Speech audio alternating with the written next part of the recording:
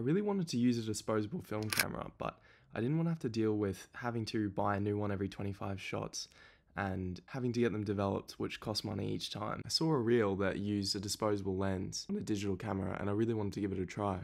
It was actually super easy to do. All I had to do was take apart a disposable film camera. I took the lens out, and then once I had that, a cap that fits into the camera body, I just glued the lens in with a bit of hot glue.